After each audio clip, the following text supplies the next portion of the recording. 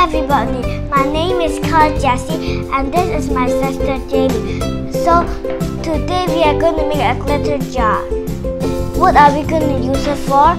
When we are so sad, when we are so angry, when we just have a play time and we want so and we want to keep on playing and how do we come down ourselves? We shake it and then look it and then look at the glitter go down and put one hand on the chest, put one hand on the tummy and keep breathing in and breathing out.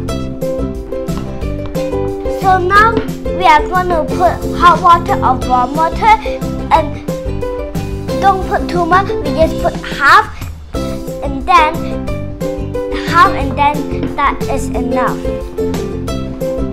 Let's start.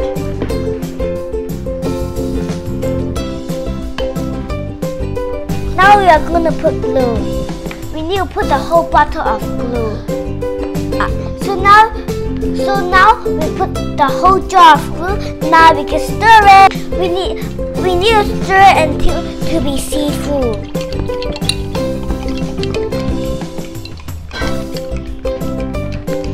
So now we are going to add food coloring. Don't add too much, otherwise it's going to be too dark color. Just put one, two or three drops. Oh my God. Wow! It's all blue. It's so nice. Now we are gonna add the glitter, but we need to add a lot, a lot of glitter. So we are gonna start now.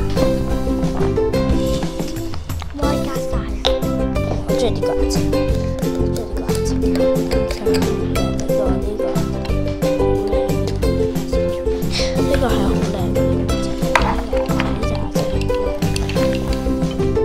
So now we think it's not enough water, so we are going to add more water. Until here, we can't fill too much, otherwise it's not going to shake too much. So we need until this round circle. So pretty.